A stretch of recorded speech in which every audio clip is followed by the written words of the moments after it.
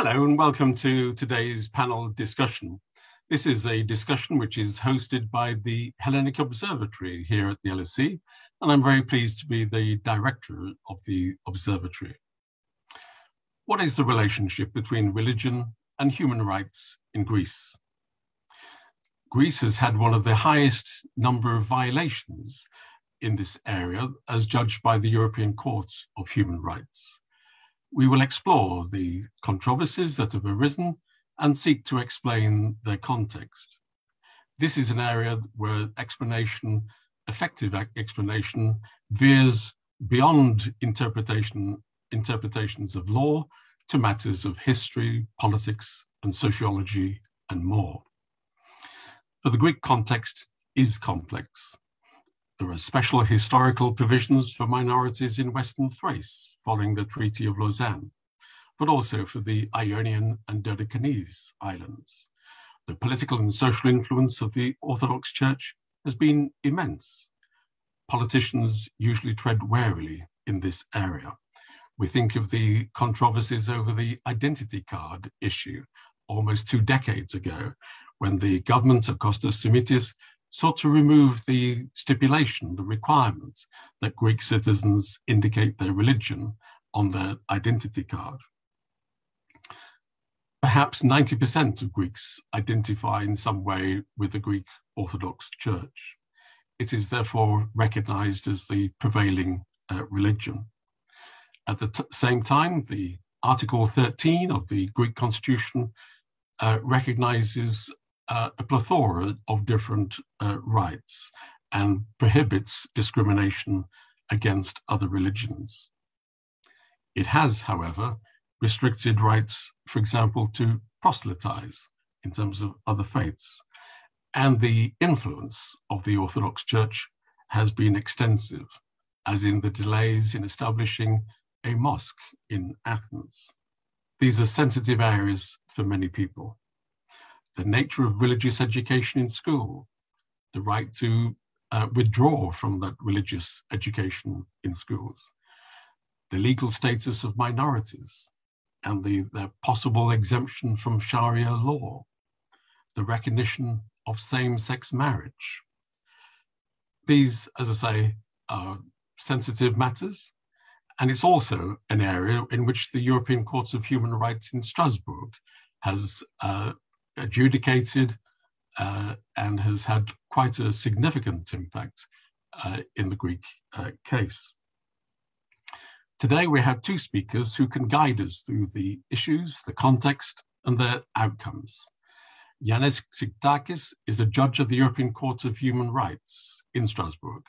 He has served as associate professor at the Democritus University of Thrace and previously as a professor at, Bosphorus University in Istanbul. He is a lawyer at the Court of Cassation and at the Council of State. Uh, Yannis holds a PhD in law uh, from the University of Athens. We're delighted that he's able to join us.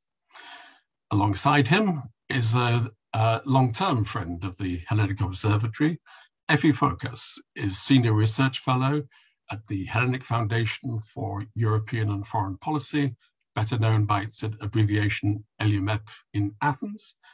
And we're delighted that she continues as a research associate of the Hellenic Observatory here at the LSE. Effie's research has explored religion at the intersection with politics, law, and human rights, and in relation to nationalism and questions of European identity. Her publications include Religious America, Secular Europe, question mark, Islam in Europe, Diversity, Identity, and Influence, and the European Court of Human Rights and Minority uh, Religions. So we have two expert speakers to guide us through this controversial, complex area. As always, we invite you, the audience, to send us your questions. And if you're following this on the Zoom um, facility, then you can see at the bottom of your screen, there's a Q&A icon. Uh, please send us your questions uh, through that means. If you're watching this uh, live on the Facebook um, page, then you can send us your questions through uh, the comment uh, facility. Do please send us your questions at any time. Uh, I'll do my best to choreograph those and put those questions to our speakers. Uh, if you do send us your questions, can we ask that you indicate not only your name, but also your affiliation if you have one, and uh, perhaps in particular, tell us where you're, um, you're sending us your questions from.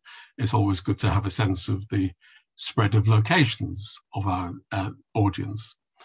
Above all, as your chair, can I ask you, if you are sending questions, to please keep them short.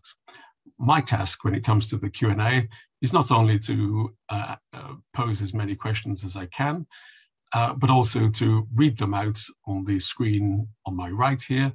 And uh, there's a time and place for academic articles. Uh, this is a time for short questions, if I may uh, ask you to do that. You can also send us your comments using Twitter. And the we suggest the hashtag for today's panel discussion is hashtag LSE Greece. And again, send us your comments at any stage uh, during the discussion, and we'll be delighted to, uh, to see those. The panel discussion today uh, is once again being uh, recorded, and all being well, if there aren't any technical difficulties, we will be uploading the discussion as a podcast on the web pages of the LSE's Hellenic Observatory. Um, let me uh, then uh, say that we're going to start uh, firstly with Yannis Ktistakis and then Effie. I will pose some questions to both of them. I will then pick your questions from the audience uh, to give to them. And we look forward to uh, not only very informed discussions, but also uh, excellent questions from you, the audience. So without further ado, can I pass you to our first speaker? Over to you, uh, Yanni, please. You'll need to unmute yourself, please. Uh, you're muted, I'm afraid. Thank Perfect. you, Kevin. Uh, good afternoon from uh, Strasbourg, and uh, thank you for uh, the invitation. Um, the third paragraph of Article 3 of the Greek uh, Constitution in force today reads as follows I quote, the text of the Holy Scripture shall be maintained unaltered. Official translation of the text into any other form of language without prior approval by the Autocephalous Church of Greece and the Great Church of Christ in Constantinople is prohibited. End of quotation. This constitutional provision is unique. It is not found in any other European constitution. In fact, it is included in all Greek constitutions since 1911.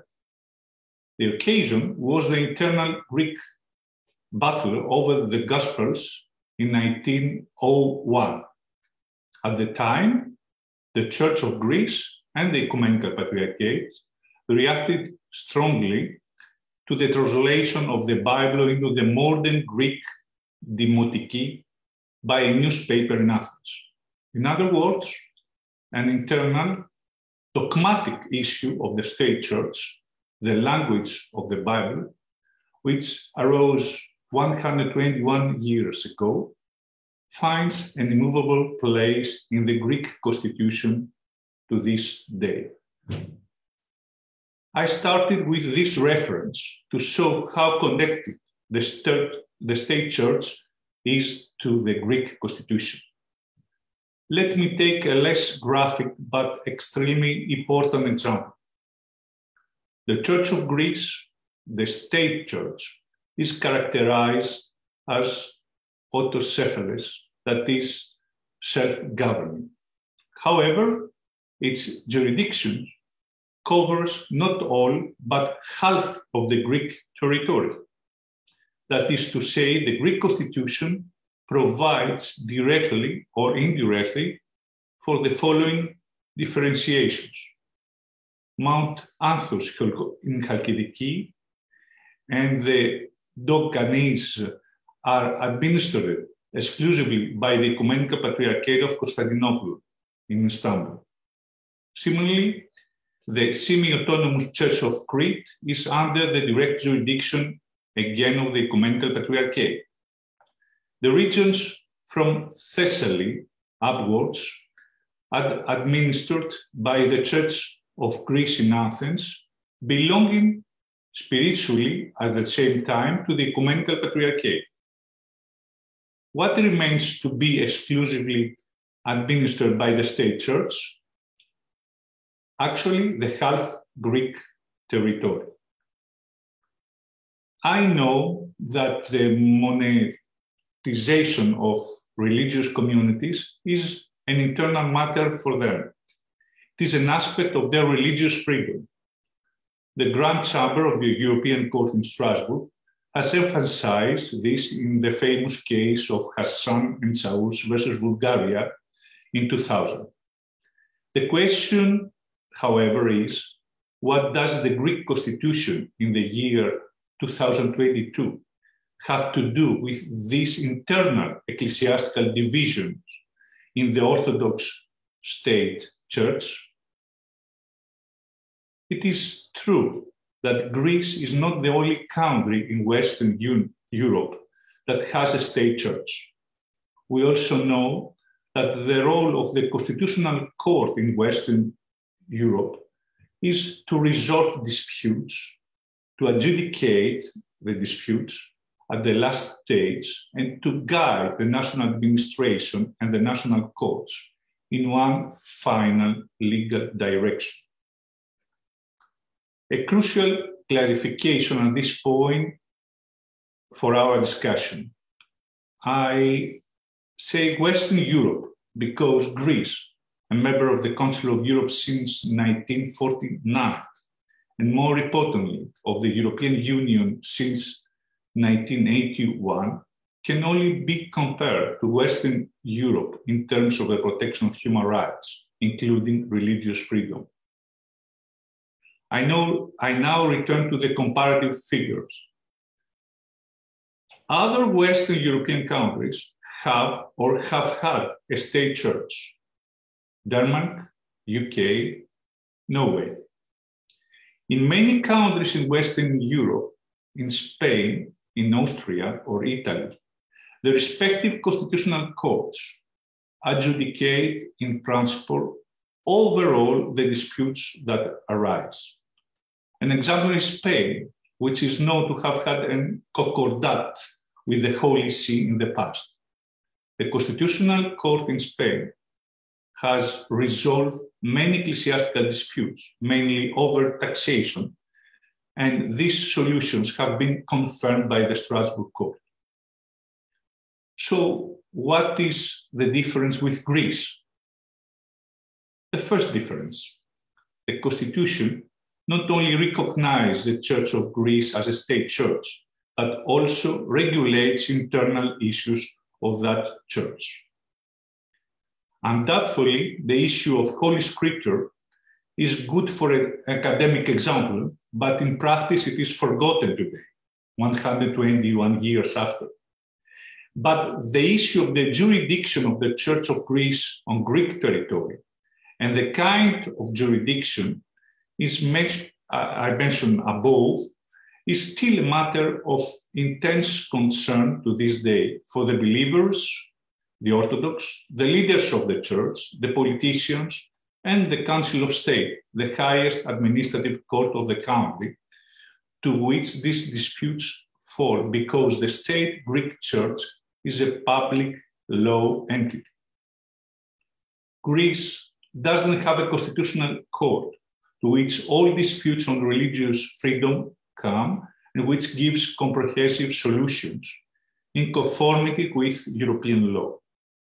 It is a fact that in the past the Council of State has exercised its jurisdiction in accordance with European law. However, the same has not been the case with the Court of Cassation, Areios Pagos, whose decisions, judgments have been persistently scrutinized by the Strasbourg court.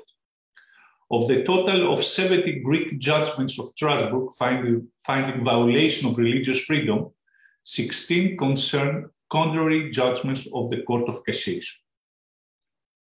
So, to summarize at this point, the Greek constitution not only recognizes the state church, but also regulates its internal issues. And yes, the Council of State has tried to adjudicate these internal issues through its case law, but the judicial solutions can only be temporary because new legal disputes are constantly arising. It is characteristic that the first Greek legal entity in history to file a case, an application before the European Court in Strasbourg was the Church of Greece. And it won because it was found that its property rights have been violated. This is the 1994 Holy Monasteries versus Greece judgment. To my knowledge, no other state church has to date applied before the European Court. I started my intervention with the largest religious community in Greece, the state church, not only because of its specificity within Western Europe. I started because it seriously affects the legal position of not Orthodox, that is, religious minorities in Greece. So now I turn to the legal status of minorities, and I will start with a snapshot here in Strasbourg.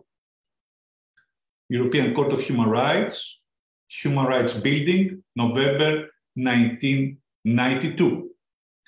Hearing of the first ever religious freedom case in Strasbourg. A Greek case, Kokkinakis, Effie will, be, will analyze it uh, uh, on her intervention. The applicant is a veteran Jehovah's Witness from Crete. Who is appearing on behalf of the defending Greek government? A Greek judge.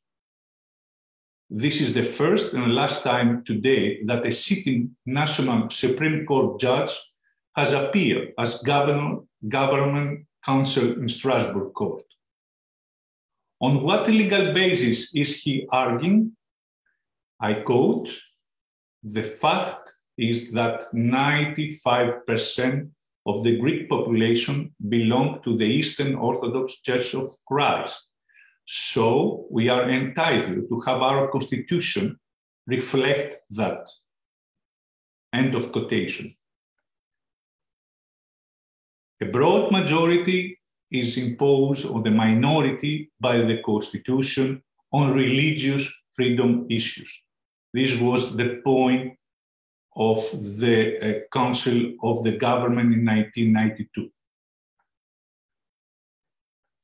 Let's take one thing at a time. Religious minorities in Greece have different legal regimes. The Jewish community is a legal entity under public law, like the Church of Greece. The Muslim community has the status of a public decentralized agency, and the Muslim religious foundations are under Ottoman law because that is where the International Treaty of Lausanne is involved. The Catholic community has only recently, in 2014, acquired a legal status, have been recognized as an ecclesiastical legal person. The Jehovah's Witnesses prefer the status of association, and the Orthodox Christians who observe the Julian calendar for religious feasts are recognized as association or, lastly, as ecclesiastical legal entities. In principle, is the different legal status of religious minorities a problem? No, according to Strasbourg case law. Is it a problem that some religious minorities have a stronger legal status than others? No, again, according to Strasbourg case law.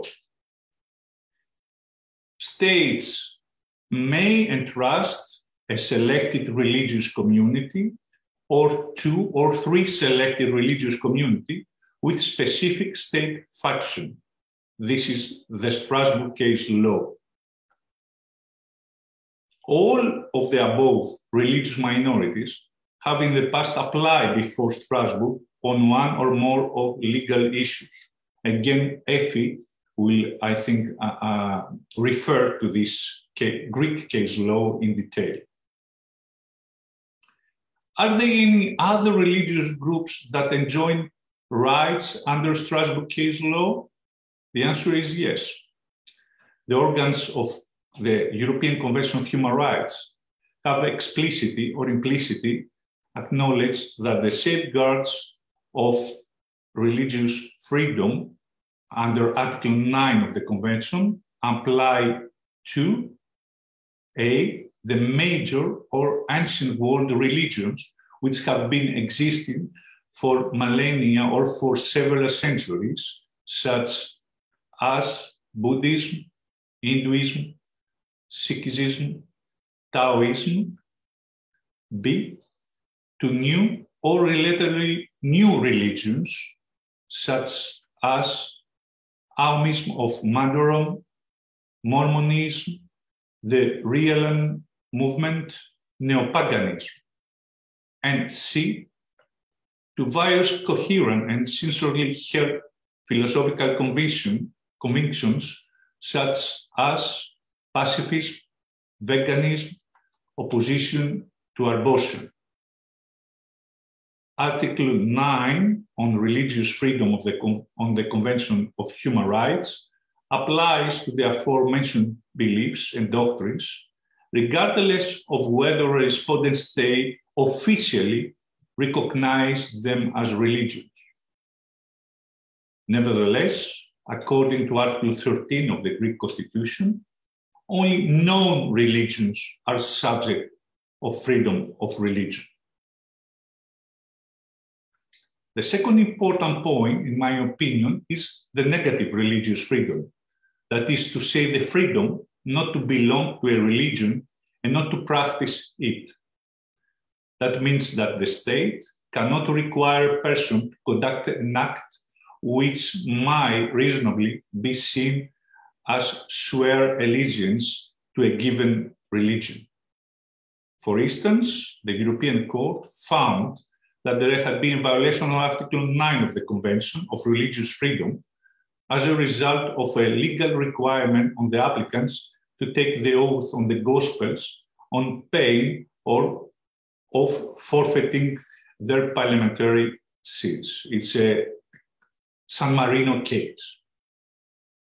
The negative aspect of freedom to manifest one religious beliefs also means that individuals cannot be required to reveal their religious affiliation or beliefs. Kevin, you have already referred to the identity card uh, case before uh, before uh, it was a Greek, uh, let's say, dispute, but this case was also uh, examined by European Court in Human Rights, and the European Court of Human Rights found no violation of religious freedom at the time. State authorities are not free to interfere in individual freedom of conscience by asking them about their belief, religious beliefs or forcing them to express those beliefs. Moreover, such interference can be indirect according to Strasbourg law. For example, when an official document issued by the state has a religion box, leaving that box blank has a specific connotation.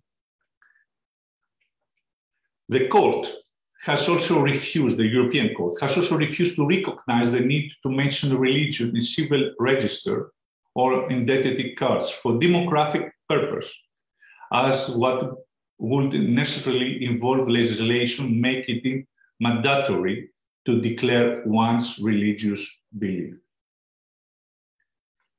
In general terms, in Western European countries, there are no longer serious violation of freedom to manifest religion, as was the case in the 90s and 2000 years. The most important case law is Greek, and Effie, again, I think will develop it today before the European Court. The claims about religious freedom are more issues of negative religious freedom as described above. And it follows that the purpose of the European Convention is religious tolerance, that is, the neutrality of the European state. It is not without significance that the legitimate grounds for restricting religious freedom do not include the ground of national security. The omission is by no means accidental. On the contrary, the refusal by the drafters of the convention to include this specific ground in 1950 among the legitimate grounds of interference reflects the fundamental importance of religious pluralism as one of the foundation of a democratic society and of the fact that the state cannot dictate that a person what a person believes or take coercive steps to make him change his beliefs. This is increasingly proclaimed by Strasbourg in its, in its judgments. There have been at least six relevant judgments of the Grand Chamber of the Court in the last decade. I quote from the last one. The court has frequently emphasized that states' role as the neutral and the impartial organizer of the exercise of various religions, faiths, and beliefs, and has stated that this role is conducive to public order, religious harmony, and tolerance in a democratic society. End of quotation. The state's duty of neutrality and impartiality excludes any discretion on its part to determine whether religious beliefs or the means used to express such beliefs are legitimate. The case of Greece may be more complicated. This is because the issue of freedom of religious minorities is often approached by national courts as an issue of religious equality rather than freedom of conscience. In other words, the obligation of religious tolerance is disregarded, and the prevailing point is the following. If the Greek state can regulate internal matters of the state church or matters of state church education, then it is justified for the Greek state itself to regulate the same matters for religious minorities. This approach if it one finds it in national case law, is not in line with the case law of the European Court, as summarized in a judgment of the Grand Chamber. I conclude, therefore, for the second part of my intervention. The shadow of the state church falls on religious minorities. They are no longer frequent intervention in the manifestation of religion, but there are concerns about restrictions, restrictions and intervention in the internal affairs of religious minorities, in their self-government right. In general, and this is my final conclusion, the Strasbourg Court's case law in Western Europe has matured over the last decade. The aim today is to protect not so much believers as atheists, agnostics, skeptics, and the, and the unconcerned. This is why tolerance of religion is particularly important. I refer earlier to the Kokkinakis hearing in Strasbourg on November 1992. The defending Greek government referred at the hearing more than four times in the, to the Norwegian constitution. The argument was simple. Norway has had a state church, the Lutheran Church, since 1814 when it gained independence from Denmark. And the Norwegian king, continue the Greek government, has always been the head of this church. What bothers you that Greece has a state church and the president of the Greek Republic is sworn in, in at Holy Trinity, was the argument raised by the Greek government. Norway revised its constitution in 2012, and there is no longer a state church. In 2017, Norway stopped paying from the state budget the clergy of the Lutheran Church. This, despite the fact that some 79.2% of Norwegians were registered are members of the Church of Norway as of January 1st, 2010, just two years before the uh, constitutional revision. Thank you for your attention. Thank you, Yanni, very much indeed. That's a very helpful and clear uh, framing of uh, how these issues are uh, seen at the European level, and also how the those um, Greek cases have been um, framed at the European level as well. So uh, that's very helpful um, overview uh, for us. There's a number of points uh, I'd like to pick up uh, later in the discussion. But let's turn to Effie, and I think Effie is going to pursue more of the domestic dimension. Effie. Indeed. Um, first, let me thank you, though, Kevin, for this invitation. Uh, I miss the LSE, I miss the Hellenic Observatory, and it's a pleasure to be with you all, albeit uh, virtually for now. Um, and it's a pleasure also to share this space and an honor to share this space with my good friend Yannis. Um, so uh, we've been given uh, by Judge Ktistakis a, a, nice overview of the great significance of the European Court of Human Rights in terms of um, introducing change in the management of religious freedom uh, for all the member states of the Council of Europe. So my remit here indeed is to focus a bit more on the critical role that that court has played in the Greek context. But in fact, I'd like to start off uh, by focusing on the incredibly important role the Greek context has played for the development of that court's case law. And you both have hinted at this a little bit. Um, so let me just give a bit of a background to this, and we will end up as uh, the spoiler, I think, uh, indicated uh, in Kokkinakis. Um, so the European Court of Human Rights was established in 1959, but it was not until 1993, after 34 years of its operation, that it first declared a state to be in violation of religious freedom. And that state was Greece. Religion was and continues to be a very sensitive issue for the court because it tends to be a sensitive issue for individual member states, as Kevin also said, sensitive areas for many people. And the legitimacy of the court relies to a large extent on the acceptance and implementation of its decisions by those member states. So whilst the court has been trailblazing in the protection of fundamental freedoms, as Yannis described to us, it has also had to balance its approach with an awareness of the degree of consensus that exists amongst member states on particular issues. Um, the consensus doctrine is a pretty complex uh, and fascinating uh, aspect of how the court works, and we could get into that in discussion time uh, with Judge Ktistakis' help if you like. Um, the point is, though, that in the court's early years, in particular on matters of a sensitive nature, which are often related to national identity, a religious freedom violation would have had to be rather blatant for the court to tread in those waters. So such a blatant violation came then in 1993 from Greece in the case of Minos Kokkinakis, who is a Greek Jehovah's Witness living in Crete and who had been arrested over 60 times for the practice of proselytism this time for the especially grievous crime of witnessing to the wife of a cantor in the Orthodox Church, so the wife of something like a member of a choir, for those who might not be so familiar. Um, made reference to this ban, but I want to note that this ban on the practice of proselytism was introduced into Greek law in 1938 under the Metaxas dictatorship, which spanned 1936 to 1941. So in company with lots of other beautiful uh, developments around fascism and everything in this time period, you understand uh, it's uh, striking that um, uh, a law from this period uh, applied still, and uh, we will get to its current day impact as well. So Kokkinakis was vindicated in his claim, and after that, the floodgates were opened.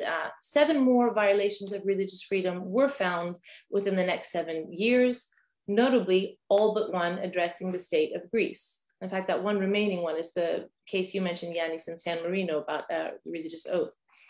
Um, until rather recently, Greece was responsible for over 20% of all European Court of Human Rights violations regarding religious freedoms. A striking number considering the court's jurisdiction over 47 countries across and beyond Europe. So it's in this sense that I say that Greece has been critical in the development of the court's case law on religion. And I think it's worth noting that it was in Kokkinakis that the court developed what has gone down in history as its mantra um, on religious freedom, explaining that it protects both the freedom of religion, but also the freedom from religion.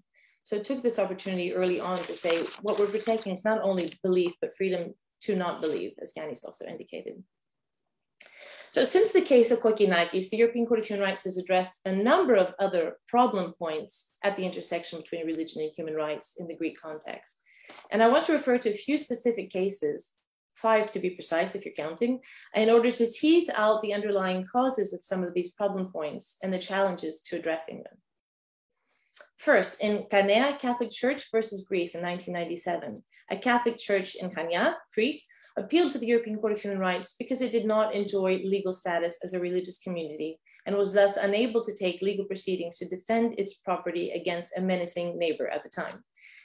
In 2014, after a rather dramatic time lag of 17 years, the Greek state changed and significantly liberalized its policy on legal status for religious minorities, very much in the shadow of that case that had taken place 17 years earlier. So takeaway number one, it may take a long time for the impacts to take root, and this is reflective of the fundamentally conservative nature of the Greek state, which has been rather slow to make space for religious minorities in the Greek public sphere. The case of Molla Sali, second, is rather different in that the relevant policy change came just before the judgment was issued by the European Court of Human Rights and in anticipation of what was sure to be a negative judgment for Greece. Here, my esteemed co-speaker this afternoon, prior to his appointment as judge of the European Court of Human Rights with respect to Greece, defended the right of a Muslim minority woman living in Thrace, her right to not be subjected to Sharia law in the case of inheritance of her deceased husband's estate. The practice of Sharia law in Western Thrace and Greece, to which also Kevin referred earlier, is fundamentally embedded in a history of tense relations between Greece and Turkey. And the broader takeaway here is that limitations may well be rooted in causes that have actually little to nothing to do with religion per se.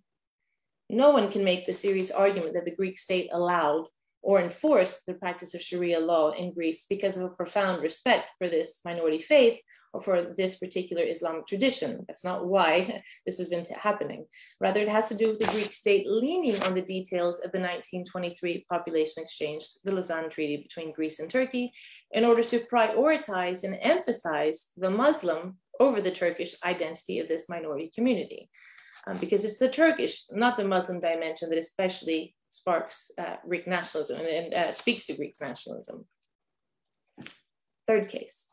Same-sex civil union is another right won at the European Court of Human Rights for same-sex couples in Greece. And I raise this example in order to make the point that the intersection between religion and human rights should be defined rather broadly to include issues not only directly involving religion, because that's not uh, fundamentally a religious issue, um, but social and moral issues which may mobilize religious groups and individuals in opposition to the granting of a particular right as was the case here. The Greek state faced formidable resistance from religious conservative factions uh, of, of the Greek public in its introduction of this particular right. Third, the case of Papageorgiou versus Greece builds on a case mentioned, um, well, actually you didn't in the end mention the Yannis uh, Folgerø versus Norway, a really significant uh, religious education uh, case managed by the European Court of Human Rights, um, where uh, the, the state of Norway had a mandatory religious education course, which it felt and was arguing that it was sufficiently critical, pluralistic, and neutral, but the claimants were act, uh, um, arguing that it was not the case. And uh, basically, it was a, uh, um, a, case built around this, this point. So in the case of Papageorgiou versus Greece, we have two atheist families who sought to establish the right to freedom from religious education in Greek public schools, without though having to declare their religious belief or lack thereof to a state authority in order to win that right to exemption from religious education. From my perspective, this is an incredibly important and especially complex issue at the intersection between religion and human rights. Undoubtedly, a non-religious or anti-religious or a member a person or a member of a religious minority or even a majority religious person should not be obliged by the state to follow courses which communicate a truth claim about any particular faith.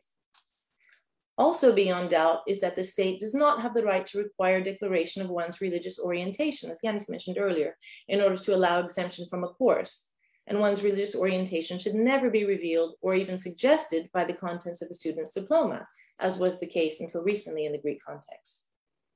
But I would also argue that religious education, which is neutral in its approach and aims at educating citizen, at, at educating students and young uh, and youth in a way that prepares them for life in a multi-religious society, is an incredibly important resource and arguably could form the basis of a mandatory course uh, if managed well. But teaching about religion in a com- completely neutral, pluralistic, and critical way is extremely difficult to achieve, as we did see through that um, case of Norway uh, um, versus Folgerø. Who is capable of teaching religion in this way, in a fully neutral, critical, and pluralistic manner? This question underpinned many Greek theologians' vehement opposition to efforts to introduce changes to Greek religious education, efforts to make it, in the spirit of Folgerø, uh, neutral, pluralistic, and critical or at least as neutral, pluralistic, and critical as possible, given the aforementioned vehement opposition. So those efforts to pluralize Greek religious education materialized eventually in the form of new religious education school books, which had been in the making for several years, and which the Syriza government finally brought to use in Greek public schools in 2015. If I get the date exactly correct, I'm not fully sure, I don't remember, um, but I think 2015. Some of you in the audience may have followed that political drama around this particular issue, this decision that, that was taken. And some may also be aware that in a rather wild twist, twist to this story, whilst the atheist families in the Papageorgiou case were making their way to the European Court of Human Rights, a group of conservative Orthodox theologians, together with their unofficial spokesperson, uh, the Bishop of Piraeus, Serafim, successfully made the case before the Greek High Court that these changes to the Greek religious education are unconstitutional. Specifically because, as Yannis mentioned, um, with reference to Article 16 of the Greek Constitution, that the Greek education is meant to, quote unquote, develop the religious conscience of youth. So the Greek High Court decides that development of religious conscience of youth must entail this very um, clear focus on orthodoxy and prioritization of orthodoxy. So we have a rather surreal situation of Greek religious education simultaneously being attacked from two directions, from those seeking re freedom from religious education and those seeking the freedom to have an explicitly orthodox religious education.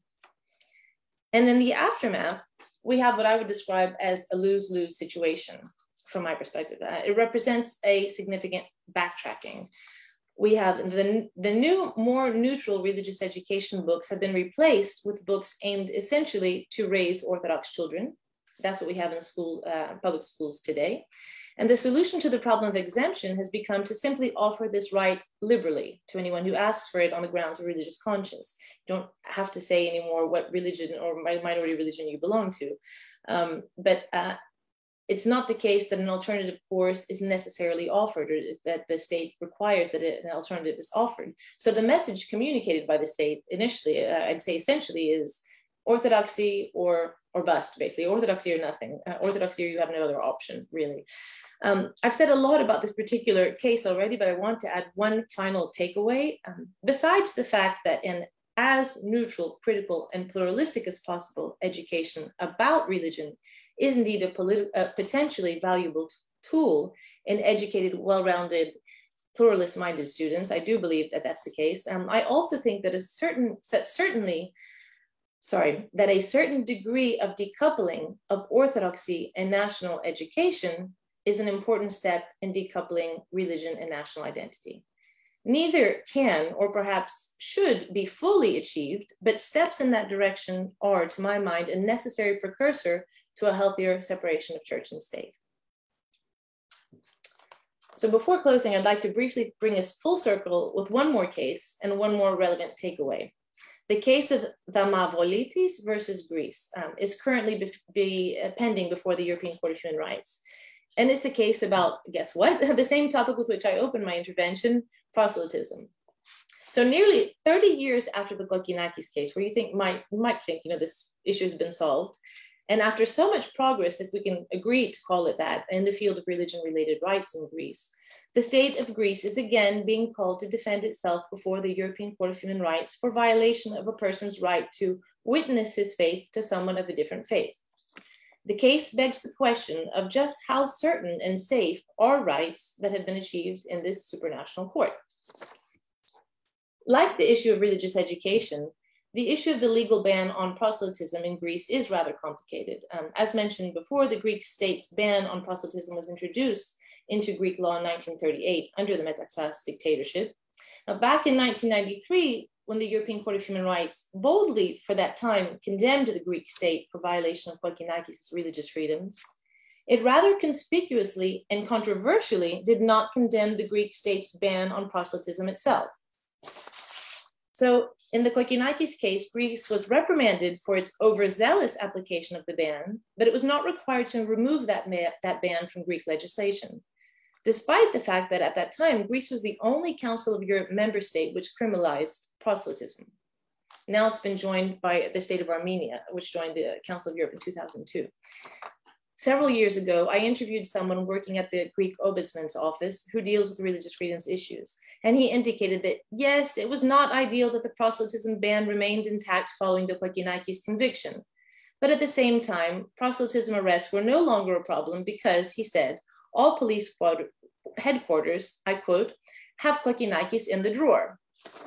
Not, of course, that they literally have a copy of the Kokkinakis judgment in their desk drawers, but that they have received the message loud and clear in the aftermath of the Kokkinakis judgment that they can no longer so liberally arrest anyone accused of proselytism. Now, I've also interviewed over the years several Jehovah's Witnesses who say, indeed, that's great, but wouldn't it be better and wouldn't they feel more secure if the proselytism ban had been removed from the Greek Civil Code altogether? I hear echoes now of these interviews in reading about the Damavolitis case. It's difficult to pronounce. this case, and I'll give you the details now, is a case of an, a non-Orthodox person, but also non-religious affiliated. He's not formally affiliated to any religious minority group. He's a farmer who had a conversation about religion with his farmer neighbor. Um, which neighbor in turn had a conversation with a Pentecostal pastor and ended up converting to Pentecostalism.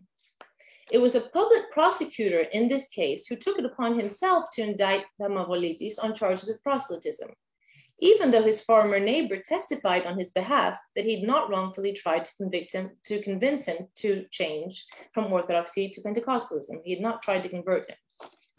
So a final takeaway, human rights protection requires constant work and vigilance one court case, no matter how high level and how authoritative the court, and no matter how revered as is the watershed case of Kokkinakis, is not sufficient to resolve problems with deep roots.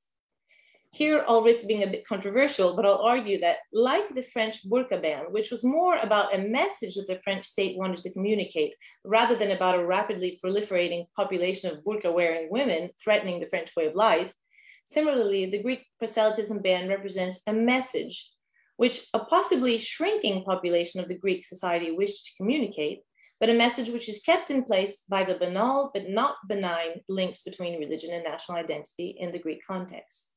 It's these strong links between religion and national identity in Greece, which suggest that it is within the rights of the Greek state to limit perceived threats to orthodoxy, as represented in efforts to convert Orthodox people to other faiths. I am intensely curious, I have to admit, as to what the European Court of Human Rights will say on this question, on whether it is indeed in 2022, nearly 30 years after the Kokkinakis case, is it within the rights of the Greek state to protect orthodoxy from such perceived threats? And I regret to tell you, I think uh, Yannis probably can't uh, give us any insight into this because it's a case pending before the court, um, but hopefully it will become a point of discussion amongst us all. Thank you for your attention. Thank you, Effie, very much indeed. Uh, we have uh, explored quite a lot uh, now, both uh, European and domestic, and the interconnections. So, thank you both for making these things uh, clear and uh, providing the platform for the discussion. Let me remind the audience, please send us your questions using the Q&A facility on the bottom of your Zoom screen or using the comment facility if you're watching on uh, Facebook. I can see that there are a number of questions coming in and I'll uh, turn to those uh, in a moment. Let me start with a couple of questions of my own, uh, if I may, to both uh, speakers, and perhaps if I start uh, with um, with Yannis.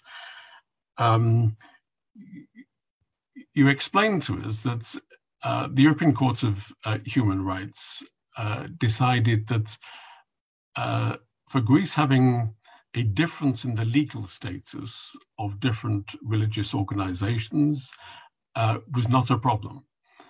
Uh, and I think you mentioned this uh, ruling uh, beginning of the 1990s or, or uh, thereabouts.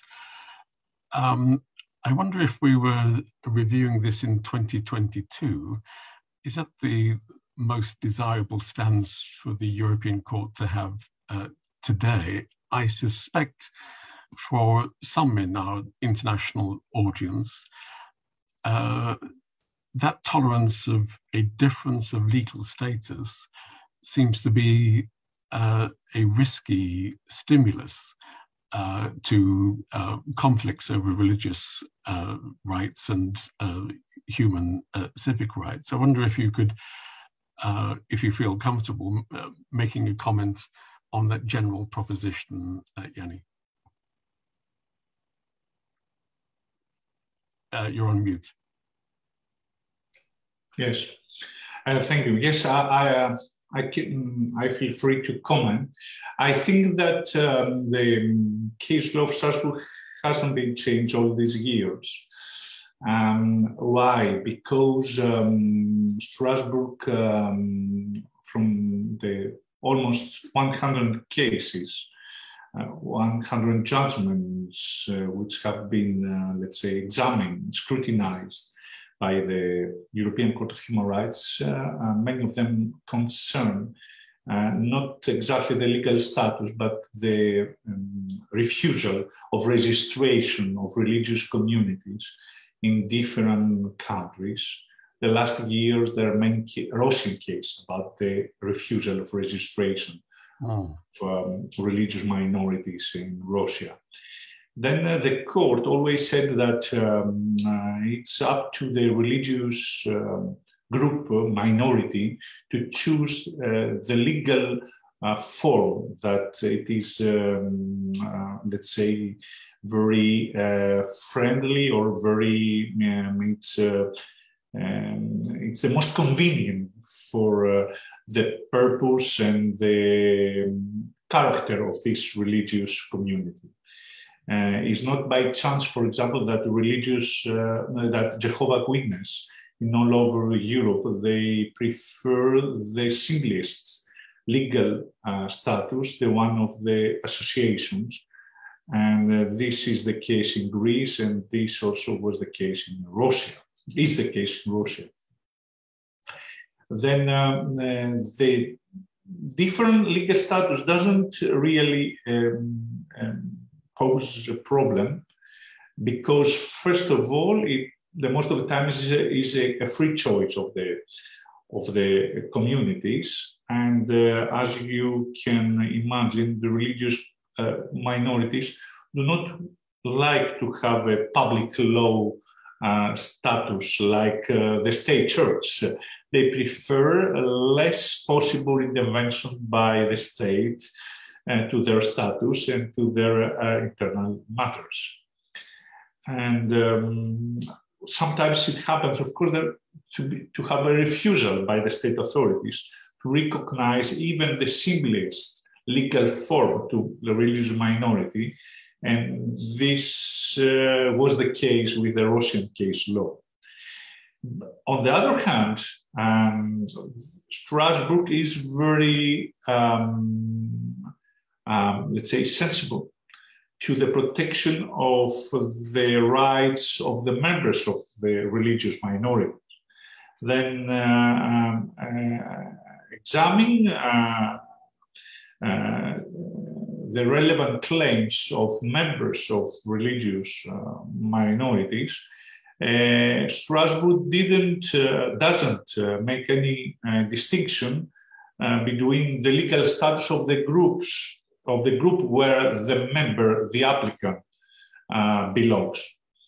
Then I think that uh, this uh, distinction between several legal status for the religious minorities, but uh, very careful examination of the claims of the members of religious minority works well until today. And in neither in uh, in any case, there is no change of this approach about legal status of religious minorities over the last 30 years in Strasbourg, in my, in my view.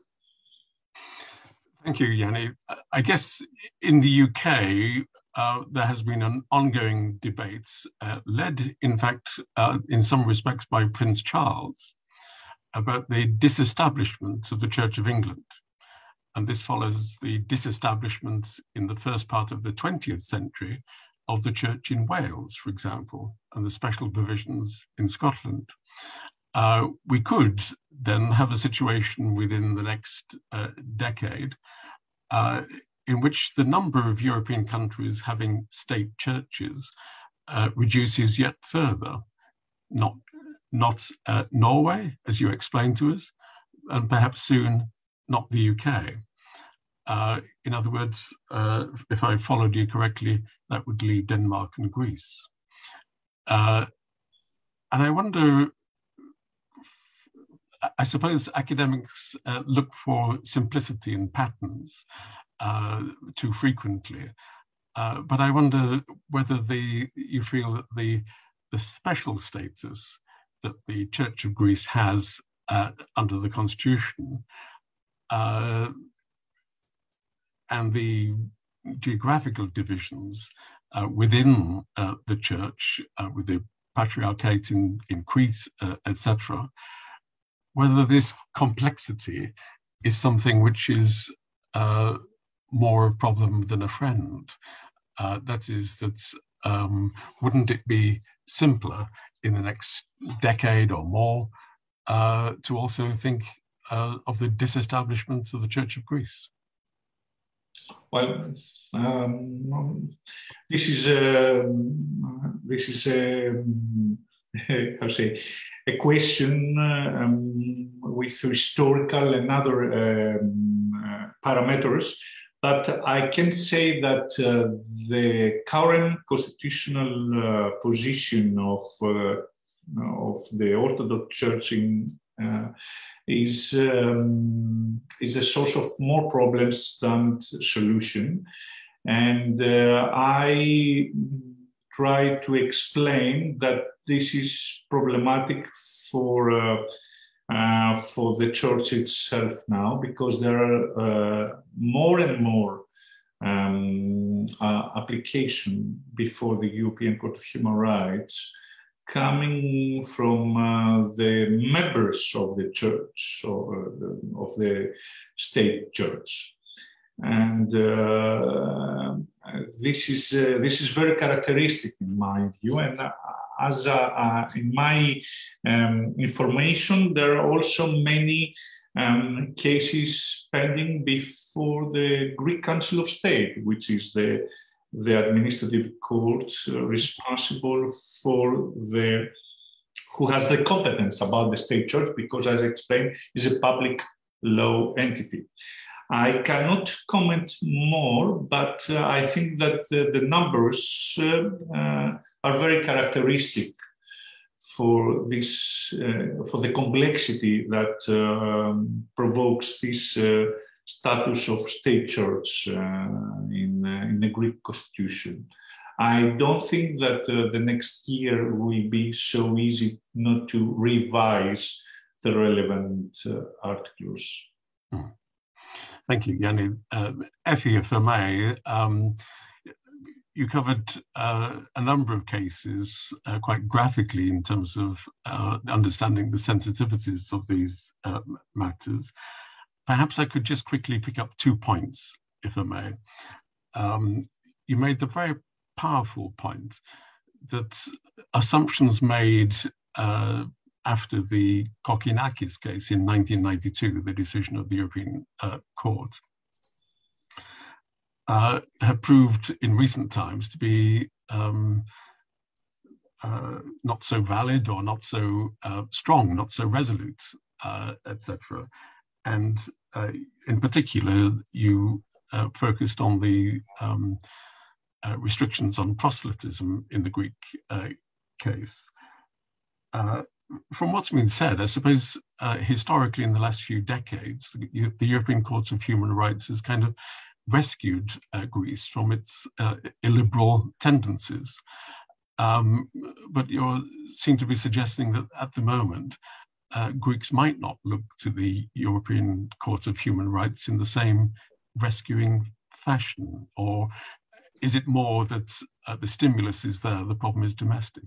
Yeah, no, I wouldn't say that, Kevin. Um, it uh, Kokkinakis is kind of an exceptional case in a sense. The, the judges were really divided on that decision. Yes. In three groups of three, really, and uh, there was a strong sense that um, it it will it will come back to haunt us that we're not demanding a ban on this uh, proselytism ban, that we're not demanding that it be removed from the law books. Um, and uh, again, it was just as far as the court could go at that point in history. It already was a real, uh, you know, trailblazer uh, in, in taking this decision. Had been avoiding, like the plague, religion cases until then. And so it took this on, but uh, tried to be mild in its approach gave the conviction against the Greek state, but didn't require such a fundamental change. And um, so I, I would definitely, it is true that um, the, the court has uh, saved Greece in many ways from, from itself uh, in the field of religious freedoms. Uh, I wouldn't say that it, it uh, has waned at all in importance. This is just an example of how important it is though that it, can, it takes the it takes the full measures sometimes when it uh, it but again it's it's a very difficult position the court is in because it has to balance um, this uh, it has to balance um, taking the right decisions on religious freedoms with making sure that uh, the member states are somehow ready and ready for some drastic changes and, uh, and I don't want to undermine the um, the freedom of the court. Certainly, judges. It's not that they're too constrained, but they are to a certain extent. They, they need to take into consideration that consensus. Otherwise, indeed, uh, yes. uh, court's power will wane if member states just stop um, implementing decisions that it takes. Thanks very much. If I may, just one last question, Effie. Um, you mentioned the uh, question of uh, religious education in schools, and uh, we appreciate that this is still a live issue with uh, questions of the school curriculum um, and how children may um, exempt themselves uh, from such uh, education. Um, you've done great work on minorities in Greece. Uh, I guess this begs a, a, large question, but I just invite you to give a brief comment about what do you think the social costs are for, uh, within Greece for what some might see as uh, a lack of religious literacy, a lack of religious understanding of different faiths. If the focus is so much on we Greeks are Orthodox and children uh, are facing a limited curriculum in terms of understanding other faiths. Does that have wider social implications? Absolutely, absolutely. Our children really, uh, Kevin, in every country, country across Europe and in Greece, um, clearly are called to uh, um, live in a much more complex society than previous generations. And they are aware of, but not uh, sufficiently educated to understand religious differences around them. Uh, even beyond that, though, Kevin, I do feel like some um, uh, tuition in the history of religion and understanding lots of aspects of religion are critical to understanding art, to understanding a lot of music, to understanding, uh, to developing well-rounded uh, um, citizens uh, uh, of the world and citizens in the future. So um, I think it's uh, the social costs are great uh, in, in medium and long term, uh, and in the long term. And I, I just feel like it was a lost opportunity. Um, and I, I, feel a bit I intervened on behalf of my research group in that particular case um, to say that indeed I felt the state was uh, very much in the wrong uh, in the way that it was managing the religious exemption uh, issue, and that you know you, the state could never and should never demand uh, a, a, confession of your religious belief or lack thereof. Um, and uh, at the same time, I think sometimes that could be perceived as a support of uh, the call for an end to religious education, and not at all. It, it shouldn't be this black or white. I, I, think it really is important to keep aiming to this, um, but as critical and as neutral and as pluralistic as possible religious education. And somehow, with the interventions, that with the role played by the Greek High Court in this case, what we've had instead is just giving up on that on that approach, at least in the short term. And I think it's incredibly challenging for teachers to manage now teaching a course like this um, to students who they know want something different. Most of them want something different. Want, most of them want need something different as well.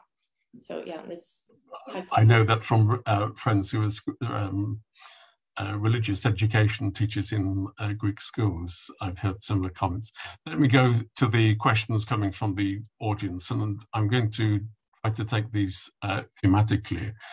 Uh, I wonder, Yanni, but also Effie, um, if you'd like to comment on a question which comes from Harold Emanuel, uh, which is actually directly related to the original decision in the Kokkinakis uh, case.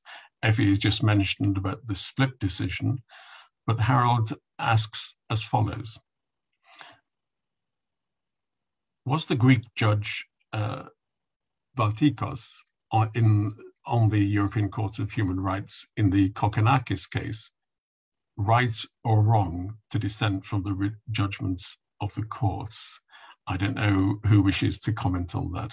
Looking back at this, at this in 2022, whatever it is, uh, three decades, um, would we say that if that case came again, um, well, Harold's question is clear. Do you think uh, the dissent of the Greek judge was right or wrong then or now? I defer to, to Yannis on this. You can speak to it also from a personal level. Um, yeah. Um, uh, the judgments are judgments of the court, are not individual judgment. And of course, uh, uh, I don't want to do any comment for uh, previous Greek judge um, just to say that it was very, uh, it was not very exceptional to have dissenting opinions uh, during 90s or 2000 in any of the uh, Strasbourg court judgments. A brief comment? I, I wish I, I, I, wish I remember the details of the judgment. I would be more liberal in my critique. Uh, there are some really striking statements in that in that dissent, um, but I, I they, my memory doesn't serve me well enough to address them. Uh, yeah, I think um, there was a lot of room for critique of the of the decision of the final decision because indeed the, the court should have ideally gone as far as banning uh, the uh, proselytism uh, uh, uh sorry bringing into that proselytism ban. But that there's not the reasons for the dissent. And so yes I uh, found them rather problematic. Okay thanks. We have several questions which is to do with the establishment of the church uh, and I guess we've touched on this already, but I wonder if you have any more comments to, to make in terms of uh, the likelihood of such a debate uh, gaining ground in, in the Greek case.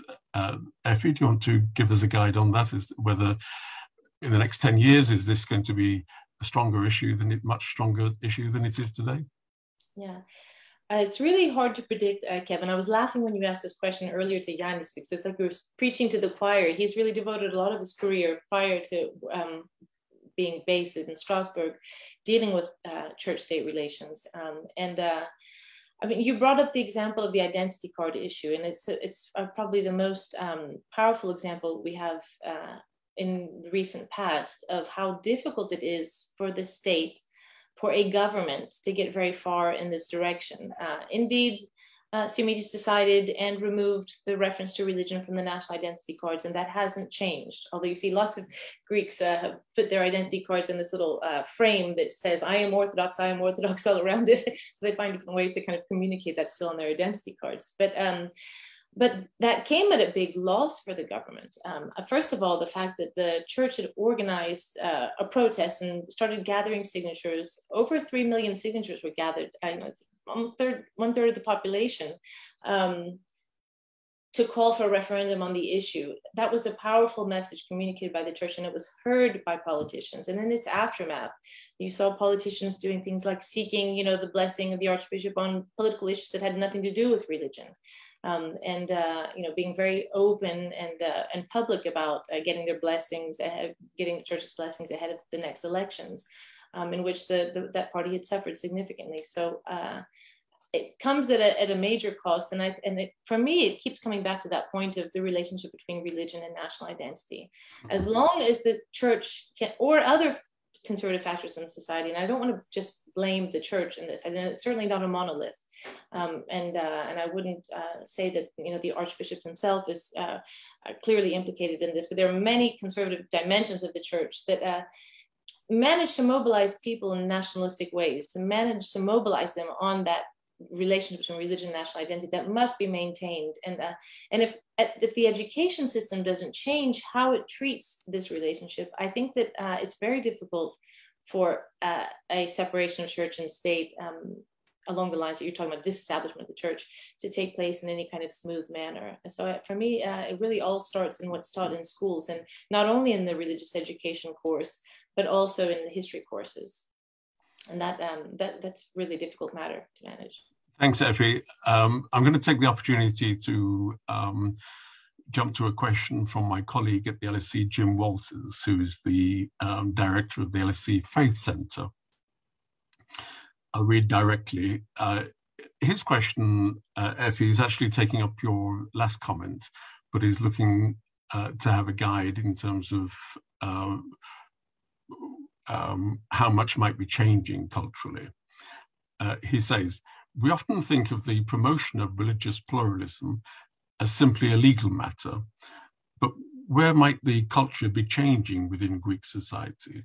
Is it in schools uh, or collaborative responses to the refugee crisis? I know that different religious organizations, organizations of different religious faiths are very active in terms of the refugee crisis in Greece. Uh, or perhaps in sections of the church itself that are working to promote interfaith uh, understanding. And again, we've hosted previous speakers in our Hellenic Observatory uh, public events program, which indicates uh, a diversity of views within uh, within the uh, church in terms of interfaith uh, understanding. So I wonder what your response to Jim would be uh, if we were looking for evidence of cultural change on these matters, where might we find that evidence, uh, most likely to find the evidence, Effie? It's a, it's a very good and difficult question, and I'm not sure I'm fully qualified to answer. I don't know that I have a, a, a pulse on this in the Greek context, although I probably should. I've been based here for enough years now. Um, but it's, uh, I, I feel like the, the schools until this change back to um, uh, to a very conservative approach to religious education were a, a very good source for potential change in this regard. Uh, the way that the previous books that had been introduced by chance, maybe, but uh, in any case, under the Syriza government really were excellent, um, and they were very open and uh, um, and uh, making children think in a much broader way. Indeed, uh, the engagement of um, I don't know there there are developments in different directions. Yes, the church has always been uh, incredibly uh, active in the field of welfare provision and care for um, for uh, people, especially experiencing the financial crisis um, or under the refugee crisis, and you see positive developments in the church on that front. And then you see uh, things like uh, all the debates around the limitations around COVID on the church, and you know, people have been really negative, uh, seeing the church have freedoms that maybe shops or restaurants, etc., did not have, and uh, all of that um, has uh, bred a, a, pretty intense negativity towards the church as well. So you, um, I, I can't I'm really sorry, um, Reverend Walters, that I can't, uh, I, I, think I can't give um, a clear sense of the direction that we're taking. I, I find um, a lot of developments in, in, in, different directions, but I will echo what Yanni said about uh, what the court is seeing. The court is seeing that it's having to defend much more, not religious minorities, but uh, a, free, a desire for freedom from religion, atheists, mm. non-affiliated, etc uh, we hear those voices much more powerfully in the Greek context, increasingly so. Um, and uh, and I think that um, that uh, it's a it's a force to be reckoned with, and uh, that is um, that you feel this in society much more of a just okay, we're moving on from this aspect of Greek identity and uh, and embracing something different. Um, but I can't put numbers to this Okay, uh, appreciated.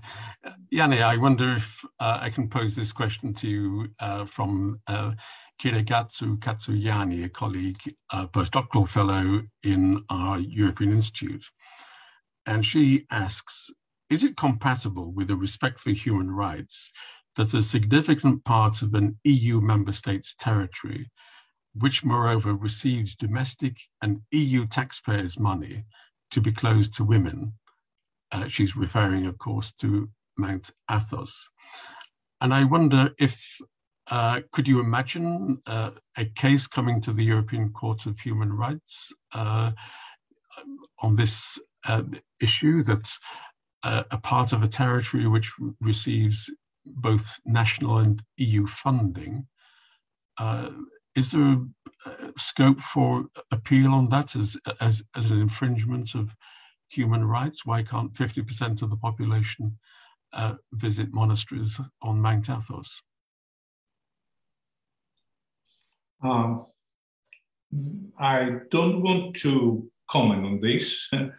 um, just I want to say that there is a constitutional provision about this ban to Mount Athos, an old constitutional provision, and also that there is um, a special um, provision uh, to the treaty of uh, 1981 when Greece um, joined uh, the European Economic Community at the time, and then all the um, relevant uh, treaties with the European Union, they provide a special status because there is one of the four basic uh, European freedoms is also the, the, freedom of circulation between the different parts of the territories of the member states. Um, then um, I just don't want to comment.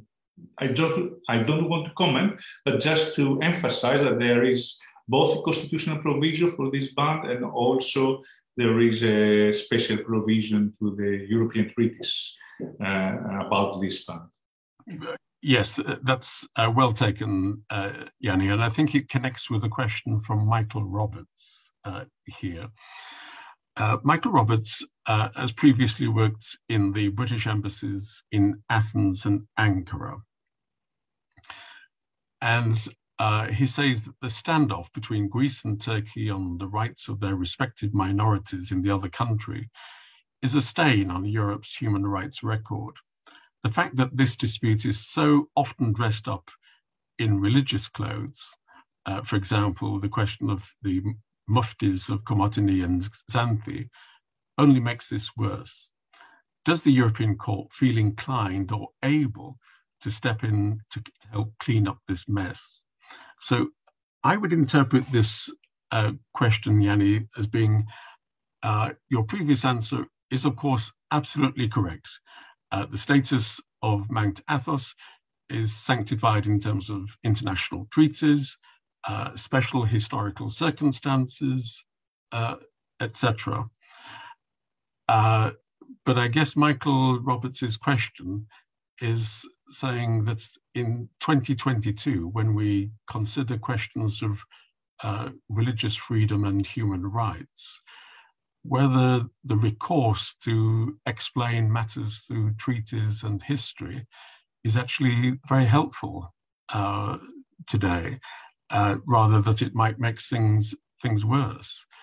Um, I wonder whether you you would like to comment on that, whether uh, this baggage, this legacy, is actually um, helpful today, or whether it's being uh, used opportunistically by governments to reinterpret the issues beyond matters of religious rights into questions of um, uh, uh, history and treaties.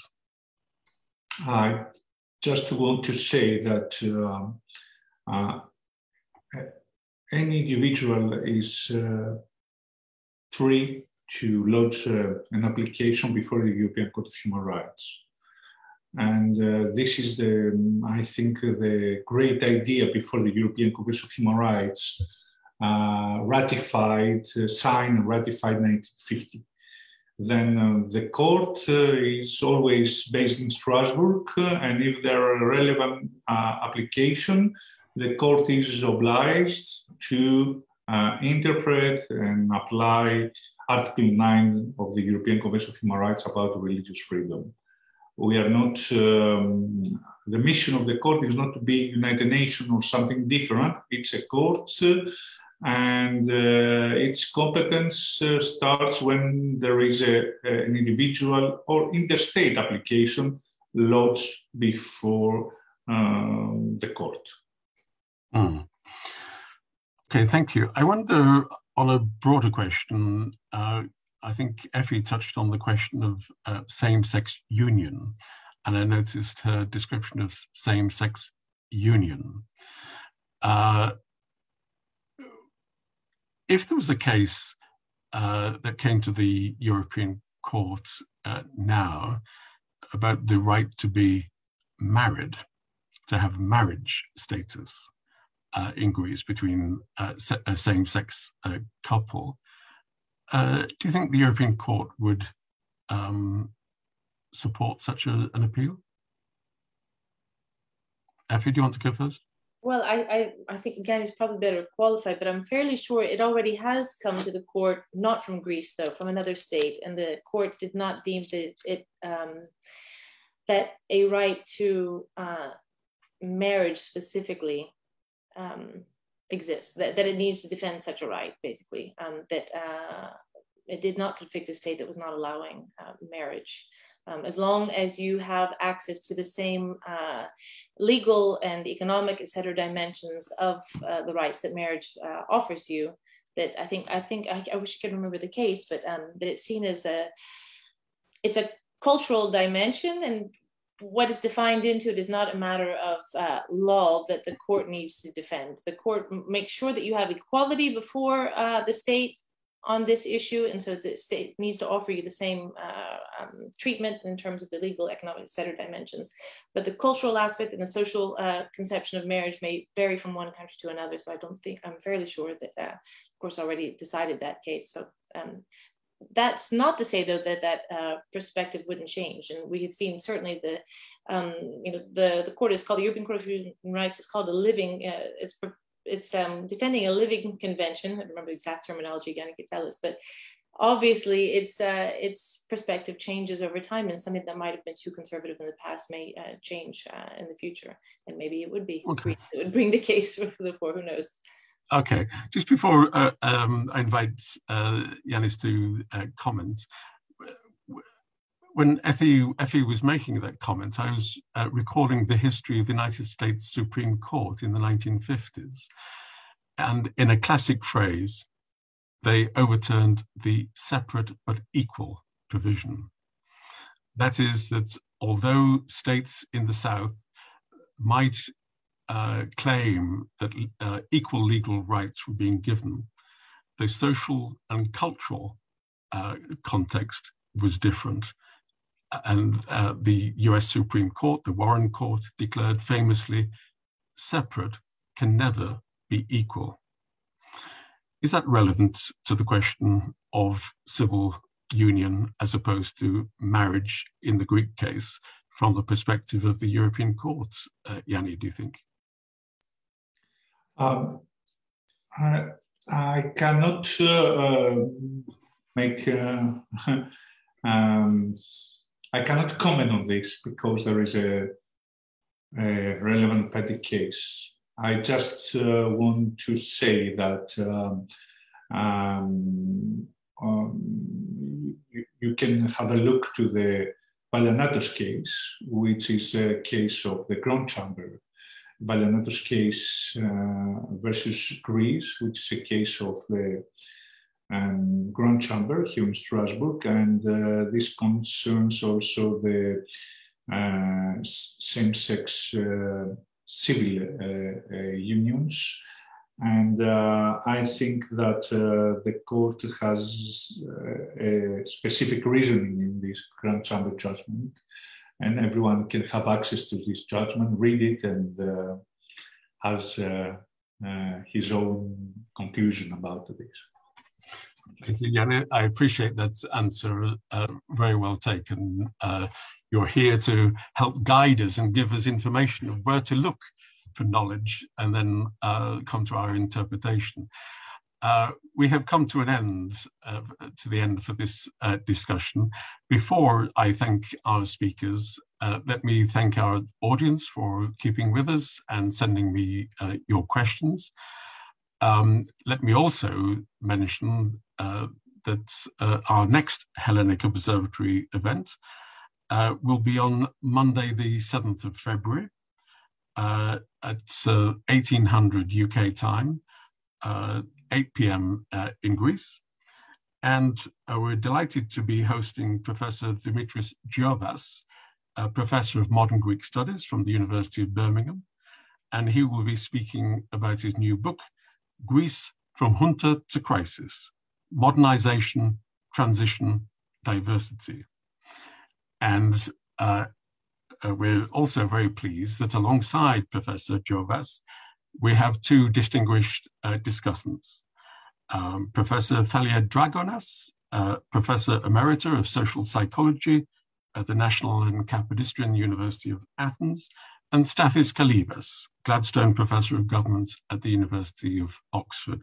So do join us for that next event, Monday, the 7th of February, uh, at six o'clock in the UK, 8 p.m. Uh, in Greece, and um, we look forward to uh, that discussion. Let me also uh, remind the audience that this discussion uh, will be available, we hope, as a podcast on the websites of the LSE's Hellenic Observatory. And uh, do please um, take advantage of that and mention it to your friends. Um, so uh, let me uh, thank our speakers very much indeed, both uh, Effie Fokas and Yannis Ktistakis uh, for their contributions. And uh, I think it's been a very informative and helpful uh, discussion. So until our next events, thank you for watching. Good night.